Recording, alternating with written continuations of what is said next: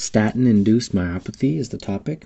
And statin medications are widely used uh, to treat uh, cholesterol.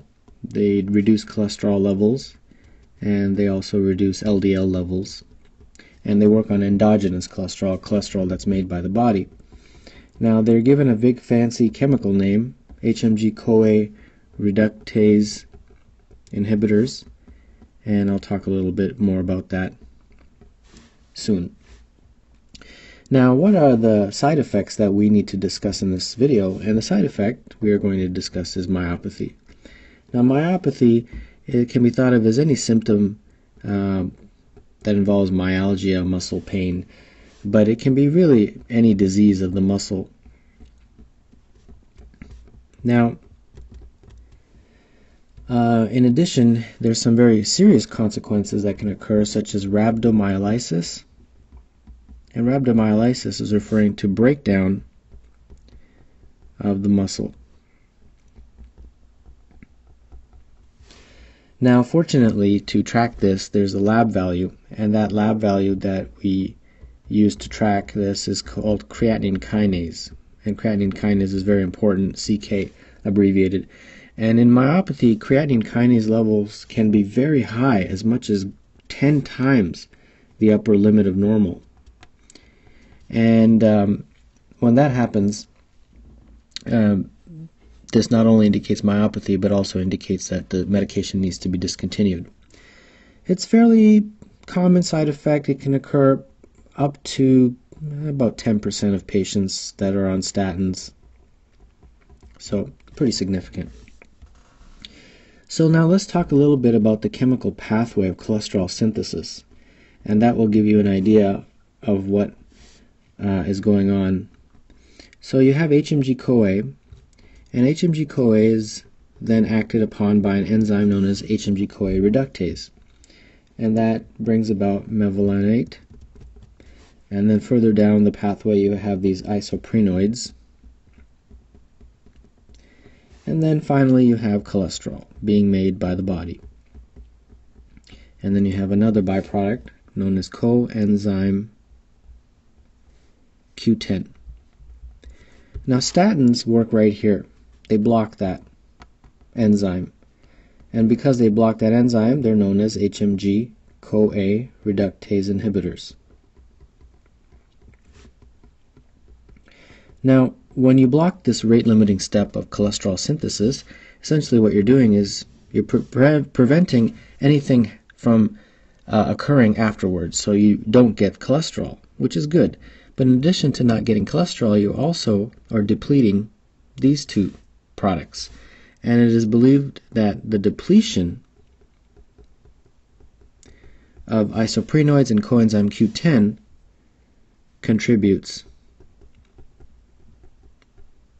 to muscle cell death. So that's why you're getting the myopathy. So what are the symptoms if someone does develop this side effect? Well, the symptoms essentially are muscle related, muscle cramps, uh, muscle aches. That's how the patient would describe it. Sometimes, if it's serious enough, you can get brown urine, and what that is is that essentially the myoglobin that is breaking down is essentially causing this discoloration of the urine. Now, what is the reason somebody would get uh, myopathy. You know, a lot of patients are placed on it, but only a small percentage of patients actually develop uh, myopathy. So, what are the, some of the risk factors? Well, there's two categories of risk factors. There's patient-related risk factors and there's drug-related. The drug-related one is really uh, easy to explain. High doses. High doses of statins are related. So the higher the dose, the more li likelihood of the possibility of developing myopathy as a side effect. But some of the patient-specific uh, risk factors are female patients are at higher risk, patients that are above the age of 50, advanced age, comorbid conditions such as diabetes or hypertension, and a patient with renal disease. And if the patient does have renal disease, you would probably see an elevated BUN creatinine somewhere in their uh, clinical vignette. Now, how do you screen for this? What are the guidelines? Well, if a patient is at low risk of developing myopathy, then there's really no need to order any baseline tests because statins are so widely prescribed that it wouldn't be very cost effective. But if a patient is at high risk of developing myopathy, then they recommend ordering at least a baseline creatinine kinase level. And high risk patients include above 50, female patients, pe- patients with diabetes or high blood pressure, or patients that have been placed on a high dose of a statin. Now, if a patient has been already placed on a statin and has developed muscle symptoms, then definitely you should order a uh, creatinine kinase level. And then finally, one important thing is that all patients should be counseled about the possibility of developing uh, statin induced myopathy. And if they do develop any kind of muscle pain, that they should call and uh, report it so that it can be decided whether this medication should be continued or not. So, what is the treatment or management if someone does indeed develop myopathy while placed on a statin? Well, if the myopathy is mild, then you can continue the medication. And the reason is because, fortunately, the symptoms resolve quickly. But if the, someone has severe myopathy, then definitely the medication needs to be stopped. And if someone has progressed to the point where there's muscle uh, breakdown, such as rhabdomyolysis, then you need to DC the medication and you need to also give IV fluids because that will help prevent renal damage, kidney damage. So that's very important. So let's uh, take a look at some clinical vignettes.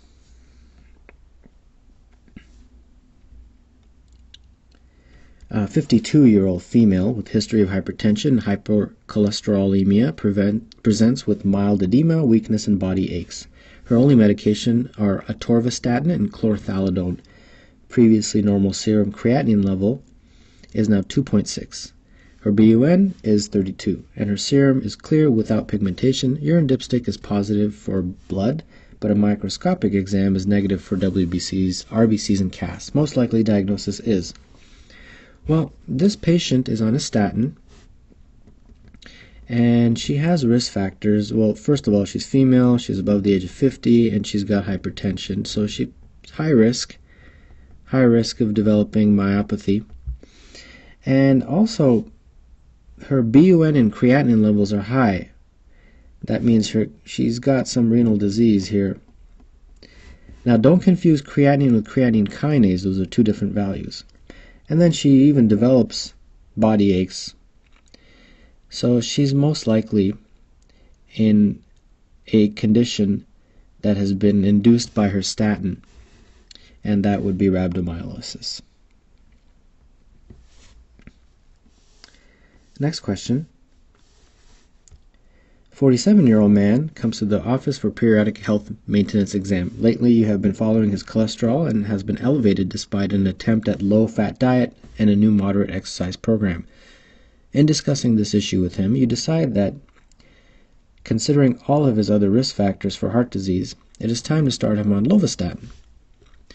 You com- explain the risks and benefits associated with this drug, and you give him the prescription before he leaves the office with instructions to call your office immediately if he experiences any common side effects. Three weeks later, you receive a frantic message from your answering service that this patient has called to tell you that he has side effects from the medication. The complaint that you expect to hear about when you return his call is. So, this is just a straightforward question asking you what are some of the side effects of statin, and the most common one for him, most likely, is muscle aches. Some, some sort of myopathy. And then finally, 54 year old woman comes to the office for a follow up exam after recently starting a high dose of lovastatin for elevated cholesterol. She has been a patient of yours for years, and you have treated her for hypertension, episode of gout, and anemia caused by uterine leiomyomas that were treated with hysterectomy five years ago. She has no complaints at this time, as in a, and is in a rush to pick up her children from a soccer game.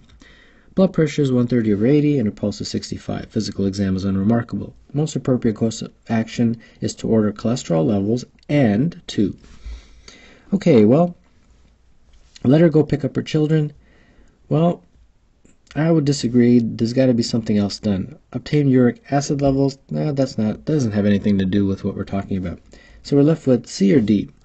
Should we order a baseline CK level, or should we just say or go home and call if you have any side effects. Well, the answer to that question, whether it's C or D, has to do with is she a low risk patient or is she a high risk patient?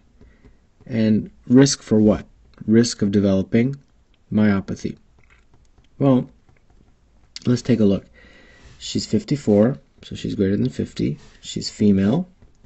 She's got cholesterol, uh, but she's been started on a high dose of a statin and and she has hypertension. So she's definitely a high risk patient uh, with regard to the possibility of developing myopathy. So she should have at least a baseline creatinine kinase level. So the answer is C